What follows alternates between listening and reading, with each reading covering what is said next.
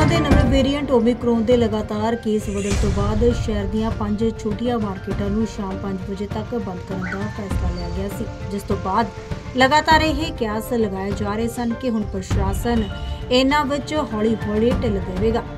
ਪਰ ਪ੍ਰਸ਼ਾਸਨ ਦੇ ਵੱਲੋਂ ਹੁਣ ਤੱਕ ਇਸ ਮਾਮਲੇ ਵਿੱਚ ਕੋਈ ਵੀ ਫੈਸਲਾ ਨਹੀਂ ਲਿਆ ਗਿਆ, ਜਿਸ ਨੂੰ ਲੈ ਕੇ ਲਗਾਤਾਰ ਦੁਕਾਨਦਾਰਾਂ ਦੇ ਵਿੱਚ ਨਾਰਾਜ਼ਗੀ ਬਣੀ ਹੋਈ ਹੈ। ਉੱਥੇ ਵੀਰਵਾਰ ਨੂੰ ਸੈਕਟਰ 15 ਸਥਿਤ ਪਟੇਲ ਮਾਰਕੀਟ ਦੇ ਦੁਕਾਨਦਾਰਾਂ ਨੇ ਇਸ ਫੈਸਲੇ ਦੇ ਖਿਲਾਫ ਆਪਣਾ ਰੋਸ ਜ਼ਾਹਿਰ ਕੀਤਾ। ਉਹਨਾਂ ਦਾ ਕਹਿਣਾ ਹੈ ਕਿ ਇਸ ਦੇ ਨਾਲ ਛੋਟੇ ਦੁਕਾਨਦਾਰਾਂ ਨੂੰ ਨੁਕਸਾਨ ਪਹੁੰਚ ਰਿਹਾ ਹੈ। ਇੱਕ ਤਾਂ ਪਹਿਲਾਂ ਹੀ ਮੌਸਮ ਦੀ ਉਹ ਮਾਰ ਚੱਲ ਰਹੇ ਨੇ ਤੇ ਕਿਉਂਕਿ ਮੌਸਮ ਲਗਾਤਾਰ ਖਰਾਬ ਬਣਿਆ ਹੋਇਆ ਹੈ। ਇਸ ਦੇ ਕਾਰਨ ਗ੍ਰਾਹਕ ਦੁਕਾਨ ਤੇ ਨਹੀਂ ਪਹੁੰਚ ਰਹੇ।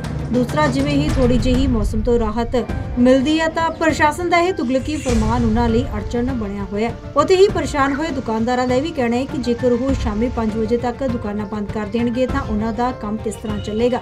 ਤੇ ਉਹਨਾਂ ਦੇ ਨਾਲ ਕੰਮ ਕਰਨ ਵਾਲੇ ਲੋਕ ਸਾਰੇ ਇਸ ਤਰ੍ਹਾਂ ਹੀ ਬੈਠੇ ਹੋਏ ਨੇ। ਪ੍ਰਸ਼ਾਸਨ ਨੂੰ ਇਸ ਤੇ ਵਿਚਾਰ ਕਰਨਾ ਚਾਹੀਦਾ ਹੈ ਤੇ ਦੁਕਾਨਦਾਰਾਂ ਦੀ ਰੋਜ਼ੀ ਰੋਟੀ ਤੇ ਲੱਤ ਨਹੀਂ ਮਾਰਨੀ ਚਾਹੀਦੀ।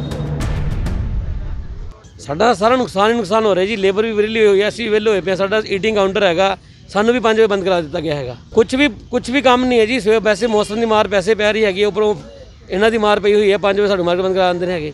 ਜਾਂ ਤੇ 5 ਵਜੇ ਤੋਂ ਬਾਅਦ ਕਰੋਨਾ ਖਤਮ ਹੋ ਗਿਆ, ਤਾਂ ਤੇ ਤੁਸੀਂ ਸਾਨੂੰ ਵੀ ਬੰਦ ਰੱਖੋ।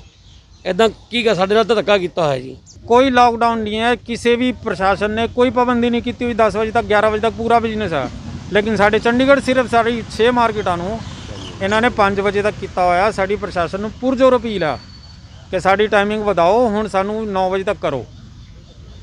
ਇਹ ਸਾਡੀ, ਮੈਂ ਪ੍ਰਸ਼ਾਸਨ ਨੂੰ ਪੁਰਜੋਰ ਅਪੀਲ ਕਰਦਾ। ਸਰ, ਨੁਕਸਾਨ ਹੀ ਨੁਕਸਾਨ ਹੈ ਜੀ, ਹਰੇਕ ਬੰਦਾ, ਗਰੀਬ ਬੰਦਾ, ਮੀਡੀਅਮ ਬੰਦਾ ਹੈਗਾ, ਇੱਥੇ ਕੋਈ ਜ਼ਿਆਦਾ ਤਕੜੇ ਬੰਦੇ ਹੈ ਨਹੀਂ ਹੈ ਜੀ, ਸਾਰੇ ਮੀਡੀਅਮ ਹੀ ਹੈ ਔਰ ਮੈਂ ਦੇਖਦਾ ਕਿ ਸਬਜ਼ੀ ਮੰਡੀ 'ਚ ਪ੍ਰਸ਼ਾਸਨ ਜਾ ਕੇ ਦੇਖੇ, ਜਿੰਨਾ ਰਸ਼ ਉੱਥੇ ਹੁੰਦਾ ਕਿਧਰੇ ਹੋਣਾ ਹੀ ਨਹੀਂ ਉੱਥੇ ਕੀ ਕਰੋਨਾ ਨਹੀਂ ਹੁੰਦਾ ਹੈਗਾ। ਇਹਨਾਂ ਪੰਜ ਮਾਰਕੀਟਾਂ 'ਚ ਹੀ ਕਰੋਨਾ ਕਰੋਨਾ ਹੈਗਾ ਜੀ।